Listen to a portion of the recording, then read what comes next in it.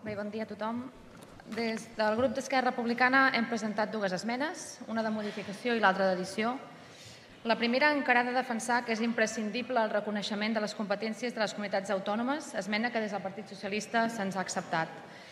I la segona per adherir un quart punt a la moció amb el següent text que és eh, reconèixer que els ens locals formen part del sistema institucional de la Generalitat de Catalunya i respectar la competència exclusiva de la Generalitat de Catalunya en matèria de règim local.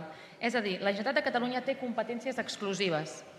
Aquesta llei no reconeix la nostra realitat, sinó que obvia per complet les previsions contingudes al nostre Estatut d'Autonomia respecte dels ens locals i les singularitats de Catalunya respecte del món local.